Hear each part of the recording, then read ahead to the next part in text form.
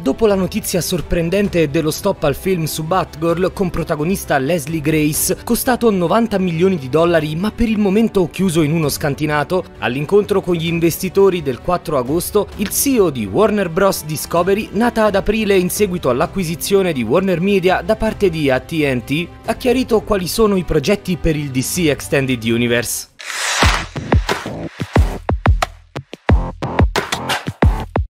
L'azienda ha deciso di resettare il franchise ristrutturando il progetto con un obiettivo preciso. È stato messo insieme un team che si occuperà soltanto dei prodotti DC, a cui è affidato il compito di elaborare un piano a lungo termine di 10 anni. Senza troppi giri di parole, l'amministratore David Zaslav ha detto che si ispireranno a quanto fatto da Marvel e Disney con il Marvel Cinematic Universe. Il CEO di Warner Bros. Discovery ha esposto come le intenzioni siano quelle di capitalizzare il successo avuto dai titoli dedicati a Batman, Superman, Wonder Woman e Aquaman, investendolo in progetti a lungo termine. Per fare questo, però, bisogna proteggere il brand DC. Per Zaslav la qualità ora è la parola chiave, questa volta si punterà sull'eccellenza, non si faranno uscire film se non ultimati a dovere. Per quanto riguarda i film DC attualmente in lavorazione, ovvero Black Adam, Shazam 2 e The Flash, Zaslav ha detto che sono ottimi, li ha visti e possono diventare ancora migliori.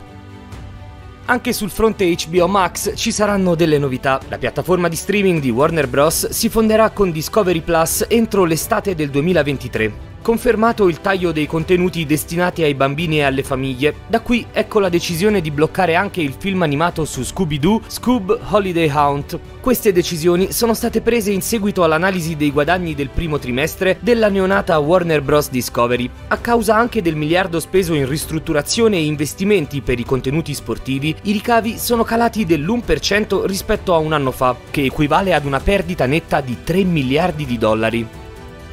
Ecco quindi motivato lo stop di Batgirl. Per David Zaslav fare uscire direttamente in streaming film molto costosi non ha molto senso a livello economico. Da qui la scelta di cambiare completamente strategia affidata ad Alan Horn, consulente per quanto riguarda i prodotti cinematografici. Horn, a differenza di quanto deciso dal 2020 ad oggi, punta completamente sull'uscita cinematografica. Per lui è impensabile che si rinunci alla finestra di distribuzione, svalutando così il valore percepito dell'opera. Warner Bros. Discovery punta ora a ricreare l'evento cinematografico e a incoraggiare il passaparola positivo del pubblico, facendolo arrivare in questo modo con maggiori aspettative anche al momento del rilascio in streaming.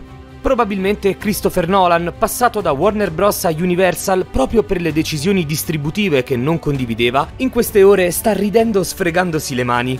Voi invece cosa ne pensate? Come sempre fateci sapere la vostra nei commenti.